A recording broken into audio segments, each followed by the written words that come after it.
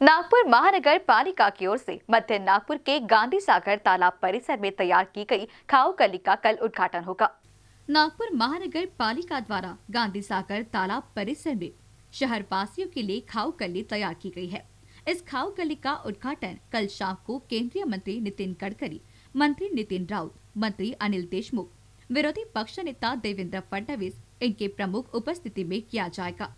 Camera person राजकुमार मोहर के साथ। मान्य खाऊ गल्लीचं उद्घाटन उद्या दिनांक सायंकाळी सहा वाजता आमचे नेते मान्य केंद्रीय मंत्री नितीनजी गडकरी यांच्या शुभ हस्ते होणार आहे.